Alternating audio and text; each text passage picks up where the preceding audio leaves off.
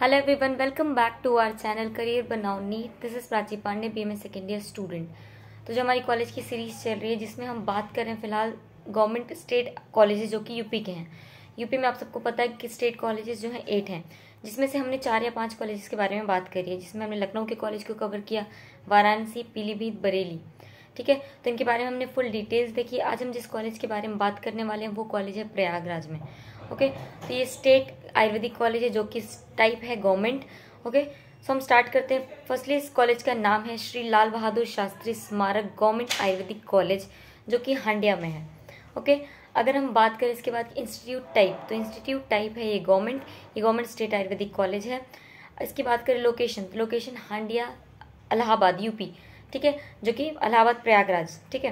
तो यूपी में सिचुएटेड है। उसके बाद अगर हम बात करें इसके एस्टैब्लिशमेंट ईयर की तो इस्टेब्लिशमेंट ईयर है इसका 1977 जो कि पुराना कॉलेज आप देख सकते हो। उसके बाद अगर हम बात करें रैंकिंग की तो इसकी रैंकिंग काफ़ी अच्छी है। गुड रैंकिंग है, अच्छी रैंकिंग में आता है, क्योंकि यार स्टेट का कॉलेज है और कॉलेजेस की लिस्ट ऑलरेडी कम है यूपी में। तो सारे जो एट कॉलेजेस हैं ना, उनकी रैंकिंग काफ़ी अच्छी अगर हम ऑल ओवर इंडिया से कंपेयर करें तो। क्योंकि उनके कट ऑफ़ भी काफ़ी हाई जाते हैं फ़ीस कम है फैकल्टीज अच्छी है, सब कुछ काफ़ी अच्छा है। ठीक है? नेक्स्ट अगर हम बात करें अफिलिएशन तो कहाँ से अफिलेटेड है? तो इसका अफिलेटेड है प्रोफेसर राजेंद्र सिंह यूनिवर्सिटी प्रयागराज। प्रयागराज में एक यूनिवर्सिटी जिसका नाम है प्रोफेसर राजेंद्र सिंह यूनिवर्सिटी तो उस यूनिवर्सिटी से ये अफिलेटेड है।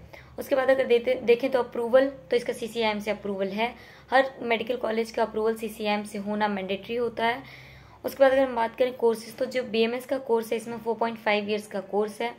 आफ्टर दैट वन ईयर की इंटर्नशिप ओके उसके बाद अगर हम बात करें सीट्स तो सीट्स का डेटा जो है लास्ट ईयर का आप देखोगे तो आपको अलग मिलेगा बट जो अभी रिसेंटली 2023 की काउंसलिंग में जो लिस्ट आई थी तो उसमें जो सीट्स की डेटा थी, उसके अकॉर्डिंग अगर मैं बात करूँ तो इस ईयर की सीट्स 38 सीट्स शो हुई थी, सिर्फ़ 38 उसके बाद अगर हम बात करें कि हॉस्टल फैसिलिटी तो हॉस्टल फैसिलिटी अवेलेबल है। अगर एक्स्ट्रा फैसिलिटीज़ और क्या क्या हैं, जिसमें कि आपके library auditorium cafeteria laboratory hospital, ठीक है? अगर आपका कॉलेज है तो ये हमारे माइंड में होता है कि यार वहाँ का हॉस्पिटल एरिया कैसा है पेशेंट फ्लो कितना है तो ये सब कुछ आपको अच्छा देखने को मिलेगा। उसके बाद अगर हम बात करें फ़ीस स्ट्रक्चर तो वो एज कॉमन यूपी के सारे स्टेट कॉलेजेस की फ़ीस ऑलमोस्ट सेम है नाइनटीन टू ट्वेंटी थाउज़ेंड जो कि एक अफोर्डेबल प्राइस है। ठीक है तो इस कॉलेज की भी fees almost ninety to twenty thousand तक है। उसके बाद अगर हम बात करें एडमिशन प्रोसेस तो एडमिशन प्रोसेस में पहले आपको नीट देना होता है नीट यूजी नीट यूजी में नीट यूजी क्लियर करने के बाद आपको काउंसलिंग में पार्ट लेना होता है। तो डबल ए ट्रिपल सी की काउंसलिंग में भी आप पार्ट ले सकते हो, जो कि ऑल ओवर इंडिया की काउंसलिंग उसमें होती है। और उसमें सिर्फ़ फिफ्टीन परसेंट सीट्स ही पार्ट लेते हैं।